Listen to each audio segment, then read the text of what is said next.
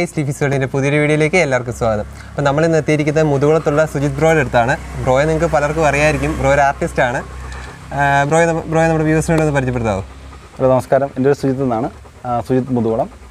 ഞാൻ വിഷ്വൽ ആർട്ടിസ്റ്റാണ് കുറച്ച് നാൾ പുറത്തായിരുന്നു വിദേശത്തായിരുന്നു. ഇപ്പം ജോലിയൊക്കെ റിസൈൻ ചെയ്ത് ഇപ്പം ഇവിടെ നാട്ടിൽ സെറ്റിൽ ആക്കുവാണ് ഓക്കെ പിന്നെ ഡോഗ് എന്നൊരു പാഷനാണ് പണ്ട് മുതലേ ഡോഗ് ഉണ്ട്. ചെറുപ്പം മുതലേ വീട്ടിൽ ഡോഗ് ഉണ്ട്. അപ്പോൾ പിന്നെ ഡോർമാനിലോട്ട് ക്രേസ് തോന്നുകയും പിന്നെ ഇപ്പം ഡോർമാൻ മാത്രമേ ഉള്ളൂ എനിക്കൊരു പെറ്റ് മാത്രമേ ഉള്ളൂ ഓക്കെ അപ്പോൾ നമുക്ക് നമ്മുടെ വ്യൂസിന് വേണ്ടി ഇന്ന് പരിചയപ്പെടുത്താൻ പോകുന്നത് യൂറോപ്യൻ ഡോർമാനെ അല്ലേ? അതെ. ഓക്കെ അപ്പോൾ അതിന്റെ ഡീറ്റെയിൽസ് ഒന്ന് നമുക്ക് പറഞ്ഞു തരുമോ? ആ ഇവന് ഒരു യൂറോപ്യൻ ലൈൻസ് വരുന്ന ഡോർമാനാണ് ആണ് ഇവന്റെ ഇവന്റെ ഗ്രാൻഡ് പേരൻസ് വേന്തി അൾട്ടോബെല്ലയും മാലിബി ഓഫ് അമട്രാസിന്റെ ലൈനിൽ വരുന്നതാണ് ഓക്കെ ആളുടെ പേരെന്തായിരുന്നു? ഇവന്റെ പേര് ബില്ല എന്നാണ്. ബില്ല ഓക്കെ. നമുക്ക് ബാക്കി ഡോഗ്സ് ഒക്കെ നേരത്തെ വളർത്തിയിട്ടുണ്ടെന്ന് പറഞ്ഞു. ഇപ്പം യൂറോപ്യൻ ഡോബർമാൻ മാത്രമേ ഉള്ളൂ. അതെന്തുകൊണ്ട് ഈ ഒരു ബ്രീഡ് ചൂസ് ചെയ്യാനുള്ള കാര്യം? അത് ശരിക്കും എനിക്കൊരു വാച്ച് ഡോഗനായിരുന്നു ആവശ്യം. ഞാൻ റോഡ് വെയിലർ വളർത്തിയാണ് ജർമ്മൻ ഷിപ്പേഡ്. എല്ലാം നല്ല ഡോഗ് എല്ലാം. എല്ലാം നല്ല ഡോഗാണ്. ലാബിനെയൊക്കെ വളർത്തിയാണ്. അപ്പം ഓരോ ഡോഗിനും അതിന്റെതായിട്ടുള്ള ക്യാരക്ടറുണ്ട് ഓക്കെ. അപ്പോൾ എനിക്ക് നല്ലൊരു വാച്ച് ഡോഗനെയാണ് വേണ്ടത്. ലോ മെയിന്റെനൻസ് വേണം. അധികം ഗ്രൂമിങ്ങോ കാര്യങ്ങളൊന്നും വേണ്ട. എന്നാൽ നമുക്ക് എല്ലാവർക്കും ഹാൻഡിൽ ചെയ്യാൻ പറ്റണം. തീർച്ചയായിട്ടും നല്ല ഡോഗനാണ് റോഡ് വീലർ നല്ലതാണ്. കമ്പാരിറ്റീവ് നോക്കുമ്പോൾ എനിക്ക് കുറച്ചും കൂടെ ബെറ്ററായിട്ട് തോന്നിയത് ഒരു ഗാർഡിങ്ങിന് ഏറ്റവും ബെറ്ററായിട്ട് തോന്നിയത് യൂറോപ്യൻ ഡോർമാൻ ആണ് കുറച്ചും കൂടി അഗ്രസീവാണ് ടെമ്പർമെന്റ് ആണ്. അതേസമയം അത് വീട്ടുകാരോട് നല്ല ലോയലായിരിക്കും ആയിരിക്കും. ആ അതെ. നമുക്ക് അതുകൊണ്ട് തന്നെ വളരെ ലോ മെയിന്റെനൻസ് മാത്രം മതി. യൂറോപ്യൻ ഡോബർമാൻ എന്ന് പറയുമ്പോൾ നല്ല ടെമ്പറുള്ള ഡോഗ്സ് ആണെന്ന് കേട്ടിട്ടുണ്ട്. അതിൽ എന്തെങ്കിലും സത്യാവസ്ഥയുണ്ടോ തീർച്ചയായിട്ടും തീർച്ചയായിട്ടും. ഇപ്പം ഇത് നമ്മളിപ്പം ഡോർമാൻ അറിയാലോ? ഇപ്പം നമുക്കൊരു ഇപ്പം നോർമലി കാണുന്നത് അമേരിക്കൻ ടൈപ്പ് അല്ലെങ്കിൽ ലാറ്റിൻ അമേരിക്കൻ ഡോർമാൻ പിന്നെ യൂറോപ്യൻ ടൈപ്പ് ഡോർമാൻ ഇതാണ് രണ്ട് നോർമലി ഇവിടെ കാണുന്നത്. അപ്പോൾ ഇതിനകത്ത് നമുക്ക് കുറച്ചും കൂടി വാച്ച് ഡോഗ് പർപ്പസിനാണെങ്കിൽ നമുക്ക് കുറച്ചും കൂടെ നല്ലത് യൂറോപ്യൻ ടൈപ്പ് ഡോർമാൻ ആയിരിക്കും നല്ലത്. ഒരു ഷോ ലൈനിലേക്കൊക്കെ അങ്ങനെയൊക്കെ വിൻ ചെയ്ത് പോവുകയാണെങ്കിൽ കുറച്ചും നല്ല അമേരിക്കൻ ആയിരിക്കും. അമേരിക്കൻ ഡോഗ് നല്ല ഡോഗാണ് ഒട്ടും മോശമല്ല. കാണാൻ നല്ല ബ്യൂട്ടിയാണ് നല്ല ഡോഗ് തന്നെയാണ്. അത് കുറച്ചും കൂടെ ഷോ ലൈൻസ് അങ്ങനെയൊക്കെ നോക്കുന്നവർക്ക് അത് പ്രിഫർ ചെയ്യാം.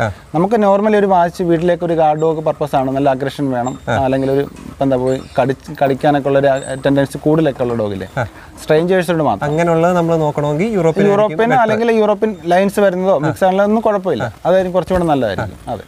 മെയിൻ ഇവർ തമ്മിൽ വരുന്ന വ്യത്യാസം എന്താ അമേരിക്കനും തമ്മിൽ അതെ. മെയിൻലി വരുന്നത് ഫിസിക് ആണോ ഉദ്ദേശിക്കുന്നത് കാഴ്ച നമുക്ക് അറിയാൻ പറ്റും. അത് നല്ല അത് യൂറോപ്യൻ എന്ന് പറയുമ്പോൾ കുറച്ചും കൂടെ ഒരു ഹെവി ആയിരിക്കും. കുറച്ചും കൂടെ ബോഡി വെയിറ്റും ബോൺ സൈസും ഒക്കെ കുറച്ചും കൂടെ കമ്പാരിറ്റീവ്ലി ലാറ്റിൻ അമേരിക്കനേക്കാളും കുറച്ചും കൂടുതലായിരിക്കും. പിന്നെ അതിന്റെ തന്നെ ഹെഡ് ആണെങ്കിലും പ്രൊപ്പോർഷൻ എല്ലാം നല്ല ഡിഫറന്റ് ഉണ്ട്. ഡോഗ് തമ്മിൽ നല്ല നമ്മളൊരു അപ്പിയറൻസ് കാണുമ്പോൾ തന്നെ നല്ലൊരു വ്യത്യാസം നല്ല വ്യത്യാസമുണ്ട്. നന്നായിട്ട് അറിയാൻ പറ്റും. കൂടുതൽ ഇച്ചിരി സൈസ് കൂടുതൽ വരുന്നത് സൈസ് കൂടുതൽ വരുന്നത് യൂറോപ്പിൽ യൂറോപ്യൻ ഡോർമാനാണ്. കുറച്ച് സൈസ് വരുന്നത്. ഓക്കെ ലാറ്റിൻ അമേരിക്കൻ സൈസുള്ള ലാറ്റിൻ അമേരിക്കൻ ഉണ്ട്. പക്ഷെ കമ്പാരിറ്റീവ് നോക്കുമ്പം നമ്മുടെ ഇപ്പോൾ ഇവിടെ നോർമലി കാണുന്ന അത്യാവശ്യം ക്വാളിറ്റി കുറഞ്ഞ ഡോഗിനൊക്കെ എല്ലാവരും അമേരിക്കൻ ഡോർമാൻ എന്നാണ് പറഞ്ഞത്. പക്ഷെ അതിനല്ല നല്ല ക്വാളിറ്റിയുള്ള അമേരിക്കൻ ടൈപ്പ് ഡോർമാനും ഉണ്ട്. ഉണ്ട്. ഉണ്ട്. ഓക്കെ. അപ്പോൾ പ്രൈസ് റേഞ്ച് നോക്കുവാണെങ്കിൽ ഇവരുടെ തമ്മിലുള്ള വ്യത്യാസം വരുന്നത് പ്രൈസ് റേഞ്ച് നോക്കുമ്പം നമ്മുടെ ഇവിടെ കേരളത്തിൽ അല്ലെങ്കിൽ ഇവിടെ നോർമലി നോക്കുമ്പം പ്രൈസ് റേഞ്ച് നോക്കുമ്പം യൂറോപ്യൻ ഡോർമാനാണ് എപ്പോഴും പ്രൈസ് റേഞ്ച് ടോപ്പ് നിൽക്കുന്നതെങ്കിലും നമ്മളല്ലാതെ നോക്കി കഴിയുമ്പോൾ നല്ല വിലയ്ക്ക് യൂറോപ്യൻ ഡോർമാനെക്കാളും വിലയ്ക്ക് പോകുന്ന ഒരുപാട് ലാറ്റിൻ അമേരിക്കൻ ഡോർമാനും ഉണ്ട്. നല്ല ലൈൻസ് ലൈൻസ് വരുന്നുണ്ട് അത് ഇവിടെ ബ്രീഡർമാർ ഇവിടെ ഇന്ത്യയിൽ വളരെ ചുരുങ്ങിയ ആൾക്കാർ മാത്രമേ ഉള്ളൂ. നല്ല ലൈൻസ് ചെയ്യുന്നത് നല്ല കീപ്പ് ചെയ്യുന്നവർ അതൊക്കെ നല്ല വില തന്നെ ഉണ്ട് കമ്പനി നോക്കുമ്പോൾ ചിലപ്പോൾ യൂറോപ്യൻ ഡോർമാനേക്കാളും വില കൂടുതൽ കൊടുക്കുന്നവരുണ്ട് അങ്ങനെ കൊടുക്കുന്നവരുണ്ട് ഉണ്ട്. ആ റേറ്റ് അത് ലൈൻസ് അനുസരിച്ച് എല്ലാത്തിനും ബ്ലഡ് ലൈൻ അനുസരിച്ചാണ്. അപ്പം യൂറോപ്യൻ ഡോർമാനും അത്യാവശ്യം നല്ല ലൈൻസ് ഒക്കെ ആണെങ്കിൽ ലക്ഷങ്ങൾ ആവും. നല്ല ഇതാണ്. ഓക്കെ കളേഴ്സിനെ പറ്റി പറഞ്ഞാൽ മെയിനായിട്ട് ഇവിടെ കണ്ടുവരുന്നത് ബ്ലാക്ക് ആൻഡ് ആനും റെഡ് ആൻഡ് ആനുമാണ് ആണ്. റെഡ് എന്ന് ഉദ്ദേശിച്ചത് മറ്റേ ചോക്ലേറ്റ് കളറിൽ ആ ഒരു കളർ വരുന്നത് പിന്നെ വേറെ കളേഴ്സ് വളരെ റയറായിട്ടുണ്ട് ഇസബല കളേഴ്സ് അങ്ങനെയൊക്കെയുള്ള പല കളറുകളും കണ്ടിട്ടുണ്ട്? വളരെ റയറാണത് പിന്നെ ഇതിന്റെ നമ്മളെ അമേരിക്കന് വെച്ച് കമ്പയർ ചെയ്യുമ്പോൾ കളറിൽ കോമ്പിനേഷൻ ചെറിയൊരു വേരിയേഷൻ കാണിക്കാറില്ല. വലിയ വ്യത്യാസം എന്ന് വെച്ച് കഴിഞ്ഞാൽ മെയിനായിട്ട് ഈ യൂറോപ്യൻ ഡോർമാന്റെ ഈ റെഡ് ഈ ടാൻ കളർ ഈ ബ്ലാക്ക് ആൻഡ് ടാൻ എന്ന് പറയും. ഈ ടാൻ കളർ കുറച്ചും കൂടെ ഡാർക്കിഷ് ആയിരിക്കും. ഓക്കെ ഈ കാളയിലൊക്കെ കളർ കുറച്ചും കൂടെ നല്ല ചുമന്നിട്ട് ഒരു ഡാർക്ക് ഒരു റെഡ് ആയിരിക്കും. അമേരിക്കനെ വെച്ച് കമ്പയർ ചെയ്യുമ്പോൾ ഇച്ചിരി ഡാർക്ക് ഡാർക്ക് റെഡ് ആയിരിക്കും വരുന്നത്. പിന്നെ നോസിനൊക്കെ ചിലപ്പം ബ്ലാക്ക് ഷെയ്ഡ് ചിലപ്പം കുറച്ച് ഇതേപോലെ കുറച്ച് ബ്ലാക്ക് ഷെയ്ഡ് ചിലപ്പോൾ വന്നേക്കാം. അമേരിക്കൻ ഡോർമാൻ എന്ന് പറയുമ്പോൾ കുറച്ചും കൂടെ യെല്ലോയിഷ് കൂടുതലായിരിക്കും വരുന്നത്. ഒരു യെല്ലോ കളർ കുറച്ചും കൂടി നല്ല ബ്രൈറ്റ് ആയിരിക്കും ടാൻ കളർ വരുന്നത്. ഇത് കുറച്ചും കൂടെ ചിലപ്പം മുഖത്തൊക്കെ കുറച്ച് ബ്ലാക്ക് കൂടി വരാം ചിലപ്പം നോർമൽ കാണാം. എന്നാലും ടാൻ കളർ ഡാർക്ക് ആയിരിക്കും. അതാണ് മെയിൻ ആയിട്ടുള്ള വ്യത്യാസം. ഓക്കെ ഓക്കെ അപ്പോൾ ഇതിന്റെ ഫുഡും കാര്യങ്ങളും എന്നൊക്കെ പറയുമ്പം ഒരു വയസ്സ് വരെ നമ്മൾ നന്നായിട്ട് ഒരു ഫൈവ് ടൈംസ് സിക്സ് ടൈംസ് വരെയൊക്കെ നമ്മൾ ഫീഡ് ചെയ്തിട്ടുണ്ടായിരുന്നു. ആദ്യത്തെ ഒരു ആദ്യത്തെ മൂന്ന് നാല് മാസം പ്രായമുള്ള സമയത്ത് ഇതിന് ഞാനൊരു ഫോർട്ടി ഫൈവ് ഡേയ്സ് ആയപ്പോൾ എടുത്തതാണ് അപ്പോൾ ആ സമയത്തൊക്കെ നമുക്കൊരു ഫൈവ് ടൈംസ് സിക്സ് ടൈംസ് ഒക്കെ ഫീഡ് ചെയ്യണമായിരുന്നു. അപ്പം നമുക്ക് അതനുസരിച്ചുള്ള ഫുഡുകൾ നമ്മൾ കൊടുത്തതെന്ന് വെച്ച് കഴിഞ്ഞാൽ ഡ്രൈ ഫുഡ് കൊടുക്കുമായിരുന്നു. അപ്പം അതിന്റെ ടൈംസ് ഉണ്ട്. ഇപ്പം ത്രീ ടൈംസ് ഡ്രൈ ഫുഡ് കൊടുക്കുകയാണെങ്കിൽ ബാക്കിയുള്ള ടൈംസ് ഒക്കെ ചിക്കൻ മിക്സ് ചെയ്ത് അങ്ങനെ പല രീതിയിൽ നമുക്ക് കൊടുക്കാം. മാറ്റി മാറ്റി മാറ്റി മാറ്റി കൊടുക്കാം മാറ്റി മാറ്റി കൊടുക്കാം. അത് ക്രമേണ നമ്മളത് കുറച്ച് കൊണ്ടുവന്നതിന് ശേഷം ഒരു വൺ ഇയർ ഒക്കെ കഴിയുമ്പോഴത്തേക്കും നമുക്ക് ഒരു നേരത്തെ ഫുഡിലേക്ക് മാറ്റി. അത് മെയിനായിട്ട് പിന്നെ കൊടുക്കുന്നത് ചിക്കനാണ് കൊടുക്കുന്നത്. ചിക്കനും അതുപോലെ തന്നെ റൈസും കൂടെ വേവിച്ച് അതിനകത്ത് മത്തങ്ങ അതുപോലെ തന്നെ സോയാബീന്റെ ചാൻസ് ഇല്ലേ? സോയാബീൻ ചാൻസ് ഇതൊക്കെ ഒഴിക്കും. പിന്നെ. വെളിച്ചെണ്ണ ഒഴിക്കാം. അതായത് മെയിനായിട്ട് ഇതിന് ഉപ്പും മധുരവും ഒന്നും ഡോഗിന് വേണ്ട. ചോക്ലേറ്റ്സ് അതുപോലെ തന്നെ മധുരമുള്ളത് കൊടുക്കരുത് കൊടുക്കരുത് ഡോഗിന് വേണ്ട. അതിന് മഞ്ഞപ്പൊടി ഇട്ട് നന്നായിട്ട് വേവിക്കുക. മഞ്ഞപ്പൊടി ഇടുമ്പോൾ എന്തെങ്കിലും വല്ല മറ്റുള്ള വിഷാംശം വല്ലതും ഉണ്ടെങ്കിൽ അത് ഇത് കിട്ടും. പിന്നെ ഏറ്റവും നല്ലത് നമുക്ക് ഡ്രൈ ഫുഡ് ഇത് റോ മീറ്റ് കൊടുക്കുന്നതായിരിക്കും ഏറ്റവും നല്ലത്. പക്ഷേ ഇവിടെ എന്റെ പേരൻസ് സമ്മതിക്കാറില്ല. ഡ്രൈ ഫുഡ് ഇത് റോ മീറ്റിന്റെ ബെനിഫിറ്റ്സ് എന്തൊക്കെയാണെന്ന് പറയൂ. റോ മീറ്റ് എന്ന് പറയുമ്പം അത് ഡോഗിന് ഏറ്റവും നല്ലത് റോ മീറ്റാണ് പ്രത്യേകിച്ച് നമ്മൾ ഈ ചിക്കനൊക്കെ കുക്ക് ചെയ്യുന്ന സമയത്തായിരിക്കും അതിന്റെ ബോൺ ഒന്നും കൂടെ സ്ട്രോങ് ആകുന്നത്. അപ്പോൾ ഇത് കഴിക്കുമ്പോൾ അത് ഇന്റേണൽ ഇഞ്ചുറി ഒക്കെ ഉണ്ടാകാൻ സാധ്യതയുണ്ട്. മാത്രമല്ല ഈ ഡോഗ്സിനൊക്കെ ശരിക്കും പറഞ്ഞാൽ അതൊരു ഒരു അനിമലാണ് അപ്പോൾ അപ്പോൾ അതിന്റെ ഫുഡ് ശരിക്കും റോ മീറ്റാണ് എപ്പോഴും നല്ലത്. അത് റോ മീറ്റ് കൊടുക്കുമ്പം നല്ലപോലെ കൊടുക്കണം. അത് വെച്ചാൽ നമ്മൾ ഫ്രീസറിനകത്ത് വെച്ച് സെവന്റി ടു അവേഴ്സോ അല്ലെങ്കിൽ ടു ഡേയ്സ് ഒക്കെ നമ്മൾ നന്നായിട്ട് ഫ്രീസ് ചെയ്യുമ്പം അതിന് അണു അണുക്കളൊക്കെ ഉണ്ടെങ്കിൽ അത് ബാക്ടീരിയസ് ഒക്കെ ഉണ്ടെങ്കിൽ അത് നശിക്കും. അപ്പോൾ അതിന് ശേഷം നോർമൽ ടെമ്പറേച്ചർ ആകുമ്പോൾ കൊടുക്കണം. അതല്ലെങ്കിൽ ഫ്രഷ് ചിക്കൻ ആണെങ്കിൽ കൊടുക്കാം കുഴപ്പമില്ല. കുഴപ്പമില്ല അപ്പോൾ അത് കൊടുത്തു കഴിഞ്ഞാൽ നമ്മൾ എവറി മന്ത് പ്രോപ്പറായിട്ട് നമ്മളത് ഡിവാം കറക്റ്റായിട്ട് ചെയ്യണം. വിരയിളക്കുന്ന വിരയിളക്കുന്നത് മസ്റ്റായിട്ട് ചെയ്തില്ലെങ്കിൽ? ആ ഓപ്പോസിറ്റ് ഫലമായിരിക്കും അല്ലേ? ഇവിടെ ഇപ്പം ചിലവർക്കൊരു ഇതുണ്ട്. ഇപ്പം ഇത് റോമീറ്റ് കഴിച്ചാൽ ഭയങ്കര അഗ്രഷൻ കൂടും മനുഷ്യർക്ക് അടിക്കും അങ്ങനെയൊക്കെ. അപ്പം എന്റെ പേരൻസ് അത് കാരണം കൊടുക്കത്തില്ല. പക്ഷേ അതിനകത്തൊരു കാര്യമില്ല ഇല്ല. പല അറിയ എനിക്ക് അറിയുന്ന ഫ്രണ്ട്സൊക്കെ ഉള്ള പല ബ്രീഡർമാരും റോമീറ്റ് ഫീഡ് ചെയ്യാറുണ്ട്. അത് നല്ലതെന്നാണ് അവരൊക്കെ സജസ്റ്റ് ചെയ്യുന്നത്. നമ്മൾ ഇവരുടെ ഫുഡിന്റെ കാര്യമൊക്കെ പറഞ്ഞു. അതേപോലെ സപ്ലിമെന്റ്സ് നമ്മൾ എന്തൊക്കെയാണ് കൊടുക്കുന്നതെന്ന് പറയൂ. ആ സപ്ലിമെന്റ്സ് നമ്മൾ മെയിനായിട്ട് ഞാൻ പറയില്ല നമ്മളൊരു വൺ ഇയറിനകത്ത് വെച്ച് നന്നായിട്ട് സപ്ലിമെന്റ്സ് കൊടുക്കണം. പിന്നെ നമുക്ക് ഇടയ്ക്ക് സ്കിപ്പ് ചെയ്യാം. വേണേൽ ഒരു രണ്ട് മാസം മൂന്ന് മാസം. അത് ഞാൻ ഫോളോ ചെയ്യുന്ന മെത്തേഡാണ് പറഞ്ഞത് എല്ലാവരും അങ്ങനെ ആയിരിക്കത്തില്ല. ഞാനിതിന് ചെറുപ്പത്തിൽ കൊടുക്കുന്നത് മെയിനായിട്ട് കാൽസ്യത്തിന്റെ സപ്ലിമെന്റ്സ് ആണ് കൊടുക്കുന്നത്. പിന്നെ കാൽസ്യം എങ്ങനെ? ഡെയിലി കൊടുക്കുമായിരുന്നു? എവറി മോർണിംഗ് കൊടുക്കും നമ്മൾ. എവറി മോർണിംഗ് ഏതെങ്കിലും ഒരു ഒരു നേരം കൊടുത്താൽ മതി. അത് വെയിറ്റ് കൂടുന്നതനുസരിച്ച് അതിന്റെ ക്വാണ്ടിറ്റി കൂട്ടണം. സപ്ലിമെന്റ്സ് മെയിനായിട്ട് കൊടുത്ത് കാൽസ്യത്തിന് കൊടുക്കുമായിരുന്നു. പിന്നെ മൾട്ടി വൈറ്റമിൻ ടാബ്ലറ്റ്സ് ന്യൂട്രിച്ച് അങ്ങനെയുള്ള ടാബ്ലറ്റ്സുകൾ പിന്നെ അതുപോലെ പ്രോബി ബൂസ്റ്റ് അങ്ങനെയൊക്കെയുള്ള കുറച്ച് സപ്ലിമെന്റ്സുകളുണ്ട് അതൊക്കെ അതെല്ലാം നമ്മൾ എല്ലാ ദിവസവും കൊടുക്കേണ്ടതാണ്. ഓക്കെ പിന്നെ അതേപോലെ ഈ സ്കിൻ ഡിസീസ് ഒക്കെ ഇവർക്ക് വരുന്ന കൂടുതലാണോ കുറവാണോ? പൊതുവേ ഡോർമാന് സ്കിൻ ഡിസീസ് കുറവാണ്. മറ്റുള്ള കമ്പയർ ടു മറ്റു ഡോർ നോക്കുമ്പോൾ സ്കിൻ ഡിസീസ് വളരെ കുറവാണ്. പിന്നെ നമ്മൾ കൂടുതലും ശ്രദ്ധിക്കേണ്ടത് ഇതിനെ ഈ നമ്മൾ നോർമലി ഉപയോഗിക്കുന്ന ഫ്ലോർ വാഷ് ഒന്നും കൂടിനകത്തൊന്നും യൂസ് ചെയ്യും അതെ വാഷ് അങ്ങനെയുള്ള സാധനങ്ങളൊക്കെ ഉപയോഗിക്കാം അല്ലെങ്കിൽ വെറുതെ വെള്ളം ഒഴിച്ച് കഴുകി കളയാം ഓക്കെ അതായിരിക്കും നല്ലത്. പിന്നെ ശ്രദ്ധിക്കേണ്ടത് ഇതിന്റെ ഇപ്പം സ്കിന്നൊക്കെ നല്ല ഷൈനിങ് ആയിട്ട് വേണമെന്നുണ്ടെങ്കിൽ നമുക്ക് ഫുഡിനകത്തിലൊക്കെ സപ്ലിമെന്റ്സുകൾ ആഡ് ചെയ്യാം. ഇപ്പം മൈബി പോലെ പല ഒരുപാട് ഒരുപാടുണ്ട് സപ്ലിമെന്റ്സുകൾ ഒമേഗ കണ്ടന്റ് അടങ്ങിയത്. അങ്ങനെ പല കണ്ടന്റുകൾ നമുക്ക് ഒമേഗ അങ്ങനെയൊക്കെ ഉള്ളത് നമുക്ക് ആഡ് ചെയ്യാം. കണ്ടന്റ് അടങ്ങിയ വൈറ്റമിൻ ടാബ്ലറ്റ്സുകളൊക്കെ നമുക്ക് ആഡ് ചെയ്യാം. അപ്പം ഞാൻ ഇതിന് കൂടുതലാണ് ചെയ്യുന്നത് അത്തരം സപ്ലിമെന്റ്സ് ഒക്കെ കുറച്ചതിന് ശേഷം നമ്മൾ ശുദ്ധമായ ആട്ടി ആട്ടിയ വെളിച്ചെണ്ണയില്ലേ?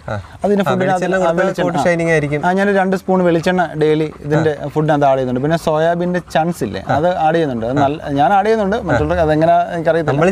അല്ലേ അതെ ഞാൻ ചെയ്യുന്ന മെത്തേഡാണ് ഞാൻ അത് ആഡ് ചെയ്യാറുണ്ട്. പിന്നെ വെളിച്ചെണ്ണ ഒഴിച്ചു കൊടുക്കാറുണ്ട്. അപ്പം കുറച്ചും കൂടെ നല്ല ഒരു കോട്ട് നമുക്ക് നാച്ചുറൽ ആയിട്ട് കിട്ടും. ഓക്കെ. ഞാൻ വൺ ഇയർ കഴിഞ്ഞിട്ട് പിന്നെ അധികം സപ്ലിമെന്റ്സ് ഒന്നും അധികം ഇപ്പം അങ്ങനെ കൊടുക്കാറില്ല. വൺ ഇയർ വരെ നമ്മൾ നന്നായിട്ട് തന്നെ കൊടുക്കണം. അത് നന്നായിട്ട് കൊടുക്കുന്നത് നല്ലതായിരിക്കും. അത് അതിന്റെ ഗ്രോ ഗ്രോയിങ് സ്റ്റേജ് ആണ്. ഒരു വൺ ആൻഡ് ഹാഫ് ഇയർ ഒക്കെ വരെ ഒരു ഗ്രോയിങ് സ്റ്റേജ് വരുന്ന ടൈമാണ് അപ്പം നമ്മൾ കൊടുക്കുന്ന ഫുഡൊക്കെ നല്ലതായിരിക്കണം. ഈ ഡോബർമാന് പൊതുവെ ഇച്ചിരി ടെമ്പർമെന്റ് കൂടുതലാണെന്ന് പറഞ്ഞു. അതേപോലെ ഈ സോഷ്യലൈസ് ചെയ്ത് നമുക്ക് വളർത്താൻ പറ്റുന്ന ഒരു ഡോഗാണോ തീർച്ചയായിട്ടും തീർച്ചയായിട്ടും. അതായത് നമുക്ക് വീട്ടിൽ ഇപ്പോൾ കുട്ടികളൊക്കെ ഉള്ളവർക്ക് വളർത്താൻ ആഗ്രഹം ഉണ്ടെങ്കിലും ഈ ഒരു പേര് പറഞ്ഞ് മാറി നിൽക്കുന്ന പലരെയും നമുക്കറിയാം. അതായത് ടെമ്പർമെന്റ് ആണ്. ഒരു വൺ മാസ്റ്റർ മാത്രമേ അനുസരിക്കാറുള്ളൂ എന്നൊക്കെ പറയുന്നത്. അതൊക്കെ കറക്റ്റ് ആണോ? ആ അത് ഇപ്പൊ നിങ്ങൾ കണ്ടു കാണുമല്ലോ എന്റെ കുട്ടികളൊക്കെ ആയിട്ട് സോഷ്യലൈസ് ചെയ്ത് നിൽക്കുന്നത് അപ്പം നമുക്ക് അങ്ങനെ ഡോഗിനെ വൺ മാസ്റ്റർ ഡോഗ് അങ്ങനെ അങ്ങനെ അങ്ങനത്തെ അങ്ങനെ പറയാൻ പറ്റുമെന്ന് എനിക്ക് തോന്നുന്നില്ല. നമുക്ക് എല്ലാ ഡോഗും നമുക്ക് നമ്മൾ വളർത്തുന്ന പോലെ ഇരിക്കും. ഈ വൺ മാസ്റ്റർ ഡോഗ് എന്നൊക്കെ പറഞ്ഞാൽ അത് പലരും ഇങ്ങനെ പറഞ്ഞു കേട്ടിട്ടുണ്ട്. എന്റെ അനുഭവത്തിൽ അങ്ങനെ എനിക്കറിയില്ല വൺ മാസ്റ്റർ ഡോഗിന്റെ കാര്യം. അത് നമ്മൾ മാക്സിമം ഡോഗിനെ നമ്മൾ വീട്ടിൽ കൊണ്ടുവന്നു കഴിഞ്ഞാൽ നമ്മളൊരു കുറച്ച് സമയം ഒരു പത്ത് മിനിറ്റെങ്കിലും അതിന് കൂടെ ടൈം സ്പെൻഡ് ചെയ്യുക.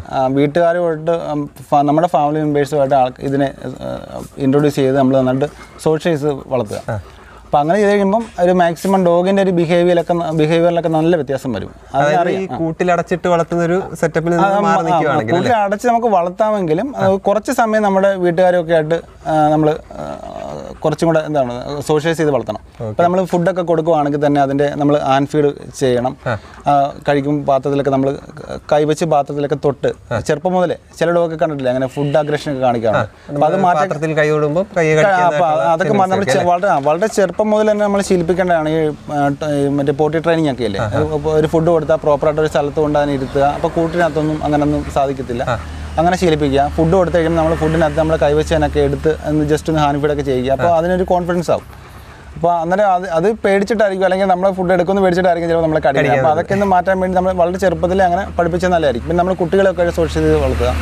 അപ്പോൾ അത് അങ്ങനെ വളർത്തി കഴിഞ്ഞാൽ നമുക്ക് പുറത്തുള്ള ആൾക്കാരുടെ മാത്രമേ ഇത് ഒരു ആഗ്രഷൻ കാണത്തുള്ളൂ. നമ്മുടെ വീട്ടുകാരോട് ഭയങ്കര ലോയലായിരിക്കും അവനൊരു ബോധമുണ്ട്. പ്രത്യേകിച്ച് ഡോർമാൻ ഒരു ബോധമുള്ള ഡോഗാണ്.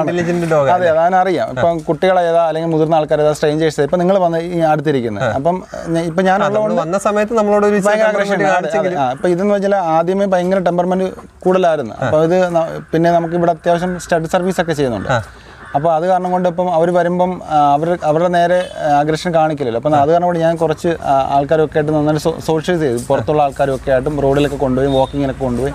അങ്ങനെയൊക്കെ ചെയ്ത് ഇവനെ ഇങ്ങനെ ആക്കി എടുത്തതാണ്. ഈ മീറ്റിംഗിന്റെ ടൈമിൽ ആൾ വിഷയം കാണിക്കുന്നു അല്ല നമ്മൾ നിൽക്കുവാണെങ്കിൽ കുഴപ്പമില്ല. നമ്മൾ നിൽക്കുവാണെങ്കിൽ അതാ പറഞ്ഞു ഇവനൊരു ബോധമുണ്ട്. പ്രാന്തം പിടിച്ച സാധനമല്ല. ഒരു ബോധമുണ്ട്. അവനൊരു ജെന്റൽ ക്യാരക്ടർ ഉണ്ട്. അപ്പോൾ അവൻ അറിയാം അപ്പം കൂടെ ആളുണ്ട്. അപ്പം അവന് എന്തെങ്കിലും പന്തികേട് തോന്നിക്കഴിഞ്ഞാൽ അവൻ കടിക്കും ചിലപ്പോൾ സാഹചര്യം അനുസരിച്ച് പെരുമാറാൻ അറിയാം. അതാണ് വളരെ ഒരു പ്രത്യേകത അത് ഇവന്റെ മാത്രമല്ല ഇവന്റെ പപ്പീസ് എല്ലാം കൊണ്ടുപോയെടുത്തതെല്ലാം നല്ല നല്ല അഭിപ്രായമാണ്. നല്ല നല്ല പ്രൊഡ്യൂസറാണ് ഇവൻ പിന്നെ ഒരു ഡോഗിലും ഒരു മോശം അഭിപ്രായം ഇല്ല. എല്ലാം നല്ല നല്ല പ്രൊഡ്യൂസറാണ് ഇവൻ അപ്പം നമുക്ക് ഏത് ഡോഗിനെയും വിശ്വസിച്ച് നമുക്ക് മീറ്റ് ചെയ്യിക്കാം ഇപ്പം നമുക്ക് ഇപ്പം പല ഡോഗുകളും വരാറുണ്ട്. ഇപ്പം പ്യുവർ യൂറോപ്യൻ വരാറുണ്ട്. എന്നാൽ യൂറോപ്യൻ മിക്സ് വരുന്നുണ്ട് അമേരിക്കൻ ഉണ്ട് എല്ലാം വരാറുണ്ട്. നമ്മളെല്ലാത്തിനും നമ്മൾ മീറ്റിംഗ് കൊടുക്കും. അപ്പം ഇറങ്ങുന്ന കുട്ടികളൊക്കെ നല്ല കുട്ടികൾ നല്ല ഇവനെ പോലൊക്കെ തന്നെ വരുന്ന ഓൾമോസ്റ്റ് സെയിം ഇവന്റെ ക്യാരക്ടറും ഇവന്റെ ഒരു സൈസും കാര്യങ്ങളൊക്കെ നമുക്ക് എല്ലാ പപ്പീസിലും കിട്ടുന്നുണ്ട്. എല്ലാവർക്കും അഫോർഡബിൾ ആണ്. പല റേറ്റ് നമുക്ക് പപ്പീസ് കൊടുക്കാം സ്റ്റഡ് ചാർജിന്റെ ഡീറ്റെയിൽസ് ഒക്കെ പറഞ്ഞു സ്റ്റഡ് ചാർജ് നമുക്ക് സാധാരണ നമ്മൾ മൂവായിരത്തഞ്ഞൂറ് രൂപയും ഒരു പപ്പിയാണ് നമ്മൾ വാങ്ങിക്കുന്നത്. സ്റ്റഡ് ചാർജ് മൂവായിരത്തഞ്ഞൂറ് രൂപയാണ്. ഓക്കെ പിന്നെ പപ്പി റേറ്റ് ഒക്കെ എങ്ങനെയാണ് വരുന്നത്? പപ്പി റേറ്റ് അത് നമുക്ക് ഡിപ്പെൻസ് അതിന്റെ മദറിന്റെ ഫീമെയിലിയുടെ ക്വാളിറ്റി അനുസരിച്ച് നോക്കിയിട്ടാണ് നമ്മൾ പപ്പി ചാർജ് നമ്മൾ ചെയ്യുന്നത്. ചിലപ്പം ചില സർട്ടിഫിക്കറ്റ് ഉള്ള കാണാം.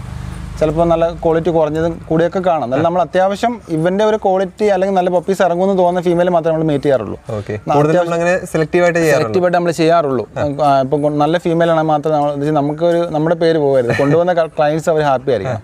അപ്പോൾ അവർ ഒരു ഡോനെ ഒരു നമ്മുടെ നിന്ന് ഒരു എക്സ്പെക്ട് ചെയ്തുകൊണ്ടായിരിക്കും വാങ്ങിക്കുന്നത്. അപ്പോൾ അവരുടെ മനസ്സിൽ കാണുന്ന ആ ഒരു രൂപം നമുക്ക് കൊടുക്കണം. അപ്പം അതുകൊണ്ട് നമ്മൾ അത്യാവശ്യം നല്ല ഫീമെയിൽസിനെ മാത്രമേ നമ്മൾ മീറ്റ് ചെയ്യാറുള്ളൂ. നല്ല പപ്പീസിനെ നമ്മൾ കൊടുക്കാറുള്ളൂ. ഓക്കെ അത് മാത്രമല്ല നമ്മൾ ലിറ്റിൽ ഇറങ്ങുവാണെങ്കിൽ അതിനകത്ത് ഏറ്റവും പിക്ക് ഓഫ് ദ ലിറ്റർ പപ്പീസിന് ആയിരിക്കും നമ്മൾ കൊടുക്കുന്നത്. സെലക്റ്റീവ് ആയിട്ടുള്ള പപ്പീസിനായിരിക്കും ക്ലയൻസിന് കൊടുക്കുന്നത്. അതുകൊണ്ട് മാത്രം നമ്മൾ സെലക്ട് ചെയ്ത് അതെ അപ്പോൾ നമുക്കും ടെൻഷൻ ഇല്ല അവർക്കും ടെൻഷൻ ഇല്ല. പപ്പി വളർന്നു വരുമ്പോൾ അവർ ഹാപ്പി ആയിരിക്കും. അപ്പോൾ അപ്പൊ ഇവന്റെ പപ്പീസ് ഒക്കെ നമുക്ക് എപ്പോഴും അവൈലബിൾ ആയിരിക്കുമോ ആ പപ്പീസ് നമുക്ക് എല്ലാ മന്തും പപ്പീസ് അവൈലബിൾ ആയിരിക്കും. നമുക്ക് അത്യാവശ്യം മീറ്റിംഗ് വരുന്നുണ്ട്. നമുക്ക് അത്യാവശ്യം നല്ല പപ്പീസിനെ കൊടുക്കാൻ പറ്റുന്നുണ്ട്. സെലക്ട് സെലക്ട് ചെയ്ത് നമുക്ക് പപ്പീസിനെ കൊടുക്കാൻ പറ്റും. ഓക്കെ നമുക്ക് ഫീമെയിൽസ് കിടപ്പുണ്ടോ? ഫീമെയിൽസ് ഉണ്ട്. നമുക്ക് ഇവിടെ ഫീമെയിൽസ് ഇല്ലെങ്കിലും നമ്മുടെ ഫ്രണ്ട് സർക്കിളിലൊക്കെയാണ് പല ഫീമെയിൽസ് നമ്മൾ ഹോൾഡ് ചെയ്തേക്കുന്നത്. ഓക്കെ നമ്മൾ പലതായിട്ട് അതെ അതെ അതെ ഇപ്പം ഇവിടെ എല്ലാ ഡോഗ്സിനും ഇവിടെ നോക്കാനൊക്കെ ബുദ്ധിമുട്ടായിരുന്നു. നമ്മൾ പല ഫ്രണ്ട് സർക്കിളിലൊക്കെ ഫീമെയിൽ നമ്മൾ നിർത്തിയിട്ടുണ്ട്. അപ്പം പപ്പീസ് എപ്പോഴും ഇപ്പൊ മൂന്ന് ലിറ്റർ ഇറങ്ങിയിട്ടുണ്ട്. മൂന്ന് ഡിഫറെന്റ് മൂന്ന് ഫീമെയിൽ ലിറ്റർ ഇറങ്ങിയിട്ടുണ്ട്. ഓക്കെ ഇപ്പൊ കിടപ്പുണ്ട് കറലി അതെ അതെ. പ്രസന്റ്ലി ഉണ്ട്. ഇപ്പം വൺ മന്ത് ആയിട്ടില്ല. ഒരു ടു വീക്ക് ഒക്കെ ആയിട്ടേ ഉള്ളൂ പപ്പീസ് കൊടുക്കാൻ. കൊടുക്കാറായിട്ട് thirty four thirty five to forty five ഡേയ്സിനകത്ത് വെച്ച് നമ്മൾ കൊടുക്കുന്നത്. ആ ആ, അപ്പൊ നമ്മൾ ഈ പപ്പീസ് എല്ലാം എടുക്കാൻ പറ്റിയ എത്ര ഏത് ഏജിലാണ് നമുക്ക് പപ്പിയെ ചൂസ് ചെയ്യാൻ പറ്റിയത്? നമുക്ക് ഒരു ഫോർട്ടി ഫൈവ് ഡേയ്സ് ആണ് പറയുന്നത്. എങ്കിലും ആൾക്കാർ അതിന് മുമ്പേ കൊണ്ടുപോകും. തേർട്ടി ഫൈവ് ഡേയ്സ് ആകുമ്പോഴേ ആൾക്കാർ വന്ന് പപ്പീസിനെ എടുക്കാറുണ്ട്. നന്നായിട്ട് ഫീഡൊക്കെ ചെയ്യുവാണെങ്കിൽ കുഴപ്പമില്ല. Maximum mother milk mother milk ഉള്ള ഡോഗിനാണെങ്കിൽ കുഴപ്പമില്ല. നമ്മൾ അത് ഹോൾഡ് ചെയ്യുന്നുണ്ട് കുഴപ്പമില്ല. അതായത് ഈ നാൽപ്പത്തഞ്ച് ദിവസം വരെ മാക്സിമം നിർത്തി കൊടുക്കുന്നതായിരിക്കും നല്ലത്. നല്ലത്. അത് പക്ഷെ നിർത്തുവാണെങ്കിൽ ആ മദറിന് മിൽക്ക് ഉണ്ടെങ്കിൽ നിർത്തിയിട്ട് കാര്യമുള്ളൂ. അത് മദർ മിൽക്ക് മാക്സിമം ഫീഡ് ചെയ്യാൻ വേണ്ടിയാണ് നമ്മൾ നിർത്തുന്നത്. മദർ മിൽക്ക് അധികം ഇല്ല എങ്കിൽ നമ്മൾ കൊണ്ടുവന്ന് കുഴപ്പമില്ല. നമ്മൾ നന്നായിട്ട് ഫീഡ് ചെയ്താൽ മതി. ഓക്കെ നമുക്ക് വരുന്ന വേറൊരു സംശയം. ഈ ഇയർ ക്രോപ്പ് ചെയ്യുന്നത് എന്ത് ഏജിലാണെന്ന് അതായത് നമ്മളിപ്പോൾ പപ്പി സ്റ്റൈലാണോ ചെയ്യുന്നത് അതോ ഒരു ഇച്ചിരി ഒരു ആറ് മാസം എട്ട് മാസം ഒക്കെ കഴിയുന്ന സമയത്ത് ചെയ്താൽ എന്തെങ്കിലും ബുദ്ധിമുട്ടുണ്ടോ? അതിന്റെ ഡീറ്റെയിൽസ് ഒന്ന് പറയൂ. ഓക്കെ ഓക്കെ ഓക്കെ ഇപ്പം ഞാൻ പറഞ്ഞേക്കെ നമ്മുടെ അറിവിന്റെ പരിധിയിൽ നിന്നുകൊണ്ട് പറയുന്നുണ്ട് കേട്ടോ. എന്തെങ്കിലുമൊക്കെ മിസ്റ്റേക്സ് ഉണ്ടെങ്കിൽ ക്ഷമിക്കണം ക്ഷമിക്കണം. കേട്ടോ. ഞാൻ എന്റെ അറിവ് നമ്മൾ ചെയ്ത എക്സ്പീരിയൻസ് വെച്ച് പറയുന്നതാണ്. നമ്മൾ നോർമലി നമ്മൾ ഇയർ ക്രോപ്പ് ചെയ്യുന്ന സമയത്ത് ഒരു സിക്സ്റ്റി ടു നയന്റി ഡേയ്സ് ആ. സമയത്താണ് ഒരു അറുപതിനും തൊണ്ണൂറ് ദിവസത്തിനും ഇടയ്ക്ക് നമ്മൾ ഇയർ ക്രോപ്പ് ചെയ്തിട്ട് ടേപ്പ് ചെയ്യുന്നതായിരിക്കും ഏറ്റവും ബെറ്റർ ക്രോപ്പിംഗ് ടൈം അതാണ്. അതായത് ഒരു ട്വൽവ് കെ ജിക്ക് ആ ഒരു ആ വെയിറ്റ് ഒക്കെ ബോഡി വെയിറ്റ് ഒക്കെ ആ സമയത്ത് അത്രയാവും. അപ്പം കമ്പാരിറ്റീവ്ലി ഇപ്പം നമ്മൾ യൂറോപ്യൻ ഡോർമാന്റെ ഒക്കെ ഇയർ ക്രോപ്പ് ചെയ്യുകയാണെങ്കിൽ ചിലപ്പം കുറച്ചും ടൈംസ് കൂടുതൽ ചിലപ്പം യൂറോപ്യൻ ഡോർമാൻ ചെയ്യേണ്ടി വരും. അത്രേ ഉള്ളൂ. പിന്നെ ടൈൽ നമുക്കൊരു ജനിച്ചിട്ടൊരു സെവൻ വീക്ക് ഒരു ഏഴ് ദിവസമൊക്കെ ആകുമ്പോഴത്തേന് നമുക്ക് ഡോക്കിംഗ് ഒക്കെ ചെയ്യാറുണ്ട്. ഡോക്കിംഗ് ആ ഏഴ് ദിവസമൊക്കെ ആകുമ്പോൾ ഏഴും പത്ത് ദിവസത്തിനൊക്കെ ഇടയ്ക്ക്. അപ്പം ഏർലി സ്റ്റേജ് ആയതുകൊണ്ട് നമുക്കത് കുറച്ചും കൂടെ ഈസി ആയിരിക്കും. ഡോഗിന് അതുപോലെ പെയിൻ ഒരു നാലഞ്ച് മാസം കഴിഞ്ഞുള്ള ടൈമിൽ ചെയ്യാൻ എന്തെങ്കിലും റിസ്ക് ഉണ്ടോ? ഇയർ ടൈപ്പിംഗ് ആണോ? ആ. ഇയർ ക്രോപ്പിംഗ് അത് ആ സമയത്ത് കുറച്ച് റിസ്ക് ആയിരിക്കും. പക്ഷേ അതിന്റെ അതിന്റെ ഈ വെയിൻ ഒക്കെ നന്നായിട്ട് ഗ്രോത്ത് ആകുന്ന സമയമായിരിക്കും. Sixty sixty to ninety days ഒക്കെ ആകുമ്പോൾ അപ്പോൾ ആ. സമയത്ത് നമ്മൾ ക്രോപ്പിംഗ് ക്രോപ്പിംഗ് എന്ന് പറയുമ്പോൾ ശരിക്കും പറഞ്ഞാൽ അത് രണ്ട് മൂന്ന് ടൈപ്പ് ഉണ്ട്. ലോങ് ക്രോപ്പ് മീഡിയം ഷോർട്ട് അങ്ങനെ പല ടൈപ്പ് ഉണ്ട്. നമുക്ക് അത് ഇഷ്ടമുള്ളത് നമുക്ക് സെലക്ട് ചെയ്യാം. അപ്പം ഷോർട്ടൊക്കെ ആകുമ്പോൾ കുറച്ചും കൂടി ഈസി ആയിട്ട് സെറ്റ് ആവും. ലോങ് ആകുമ്പോൾ കുറച്ചും കൂടി നന്നായി ശ്രദ്ധിക്കണം അത്രേ ഉള്ളൂ. ഓക്കെ അപ്പം നമ്മൾ ഈ നല്ല ഇറക്റ്റ് ആയിട്ട് നിൽക്കുന്ന ഒരു സ്റ്റേജ് ഉണ്ടല്ലോ. അത് ഈ പറഞ്ഞ കറക്റ്റ് ഈ പറഞ്ഞ ഒരു ടൈമിൽ ചെയ്താൽ മാത്രമേ അങ്ങനെ അതെ കൂടുതലും ചാൻസ് അതിനാണ് കൂടുതൽ. എന്ന് വെച്ചാൽ നമുക്കത് ക്രോപ്പിംഗ് എന്ന് പറയുമ്പോൾ കണ്ടത് ഈ ഇയറിന്റെ ഒരു ഏരിയ സർജറി ചെയ്ത് റിമൂവ് ചെയ്യാണ് ഇയർ പിന്നീട് അത് ഒരു ടെൻ ഡേയ്സ് കഴിയുമ്പം നമ്മൾ അതിന്റെ സ്റ്റിച്ചൊക്കെ റിമൂവ് ചെയ്തതിനു ശേഷം ഇത് ഹീലാണ് സ്റ്റിച്ചൊക്കെ ഹീലായതിനു ശേഷം നമുക്ക് ഇതിനകത്ത് സ്റ്റമ്പ് വെച്ചിട്ട് നമ്മൾ ടേപ്പ് ചെയ്യണം. അതിന് പ്രത്യേക ടേപ്പ് ഉണ്ട്. അത് വെച്ച് നമ്മൾ ടേപ്പ് ചെയ്ത് പോകണം. അതൊരു ഒരു ത്രീ നമ്മളൊരു മൂന്ന് ദിവസം കണ്ടിന്യൂസ് ഒരു ത്രീ ഡേയ്സ് ടേപ്പ് ചെയ്തതിന് ചെയ്യുന്ന ഇപ്പം നമ്മൾ ഇന്ന് ടേപ്പ് ചെയ്യുകയാണെങ്കിൽ മൂന്നാമത്തെ ദിവസം അത് ടേപ്പ് അഴിച്ചിട്ട് മെഡിസിനും കാര്യങ്ങളൊക്കെ വെക്കുക. പിന്നെ നമ്മൾ ഒരു ഫ്രീ ആയിട്ട് കുറച്ച് സമയം വിട്ടിട്ട് പിന്നെ ടേപ്പ് ചെയ്യണം. അങ്ങനെ ഒരു ഫൈവ് ടൈംസ് ചെയ്യണമെന്നാണ് പറഞ്ഞത്. പക്ഷേ എന്നാലും നമുക്ക് ഇയർ പൊങ്ങുന്നതനുസരിച്ച് നമുക്ക് ടൈംസ് കൂട്ടാം. കൂട്ടാം അളവ് അത് നമുക്കൊന്ന് അറിയാൻ പറ്റില്ല. നമ്മുടെ ഡോഗിന് എപ്പോഴാണ് സ്ട്രൈറ്റ് ആകുന്നത്. നമുക്ക് ഇടയ്ക്ക് ഗ്യാപ്പ് ഇടാം ഇടയ്ക്ക് സെറ്റ് ചെയ്യാം. ഓക്കെ.